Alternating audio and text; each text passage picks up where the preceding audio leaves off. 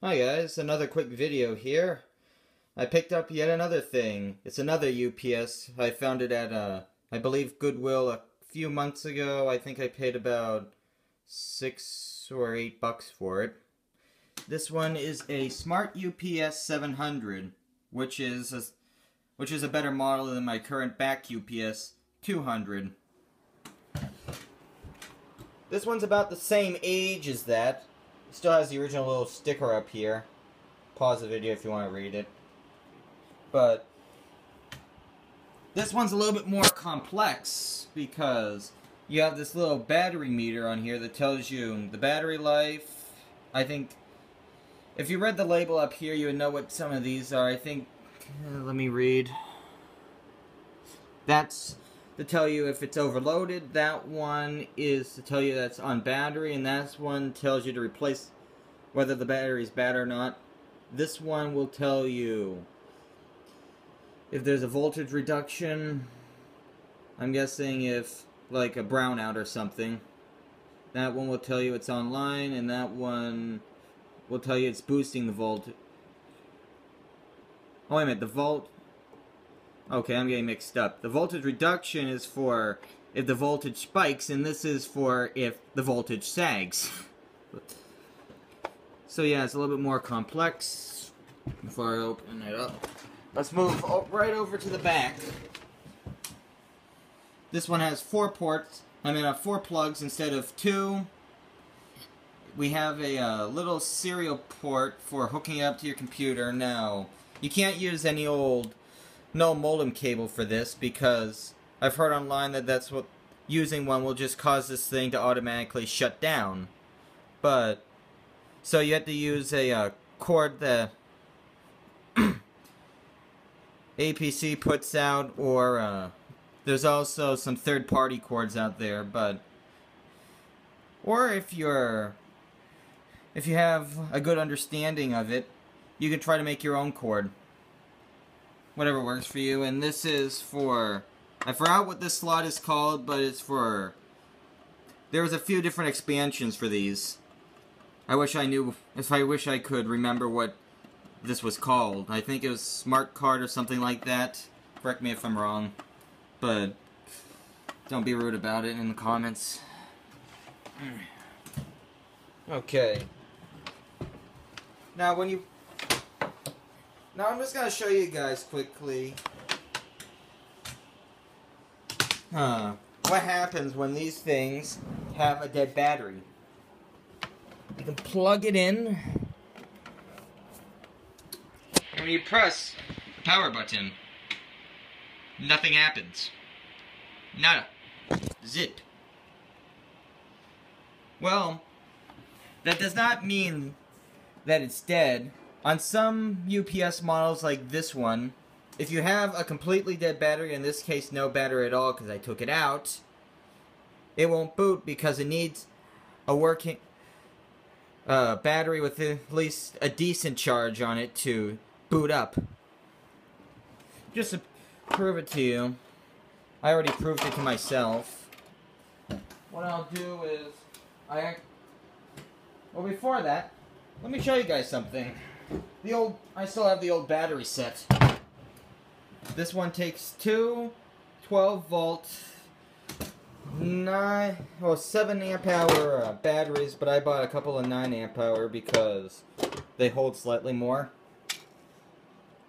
And they're wired, I believe this is in series. Correct me if I'm wrong. But yeah, this is the original battery. You read right on the bottom. It has a date code of March of 1998. This is not coming up clearly, but I guarantee you that's a 3 it's pointing to. So March of 1998. Yeah. So these are going on 18 years old now. So yeah, definitely bad. What I bought were couple of these uh, PowerSonic 12 volt 9 amp hour batteries slightly more than the factory spec but the same size so it doesn't really matter. I'll probably be using some uh, double-sided tape to tape these together and I'll reuse this little cord right here since this didn't come with them and I'm pretty sure you're gonna have to do that with mostly any kit you buy unless it comes from APC which their kits are through the roof to say the very least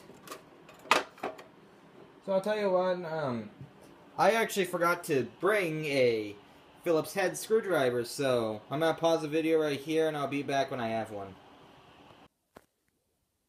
Okay, I'm back.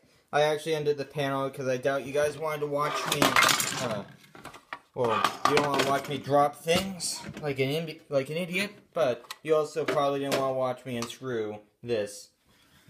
Especially since how jumpy this iPad camera can be. So I'll just try to do this one-handed. I'll just show. I'll link these two batteries together.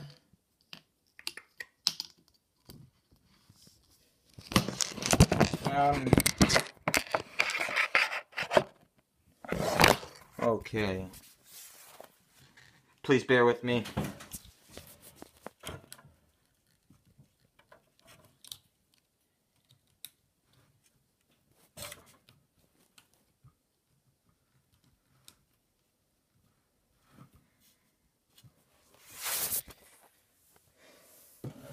There, got these two batteries linked.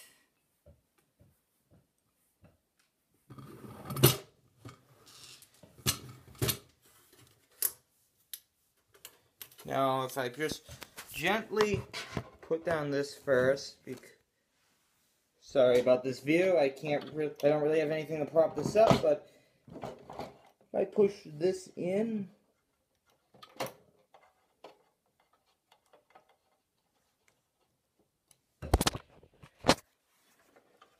plug this in. Oh, Jesus. You heard that spark on camera. If you're wondering what that spark was, that was the capacitors charging in this. You've got to be careful for that. That can sometimes catch you off guard. But now that that's plugged in, if I go to plug this UPS in, which I don't recommend you do as I do. You heard a beep come from it. Now if I press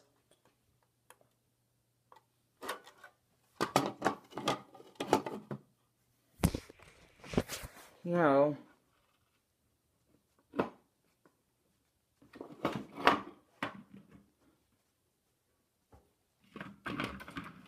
Oh, Hold on. Hold on a second. I'll be right back. Back, sorry for a second. I thought that something went dead or something, but nope, it works. I press. If you hold down this power button, you have to hold it down for a few seconds. Comes to life. And it starts charging the battery. So yeah. Let's see.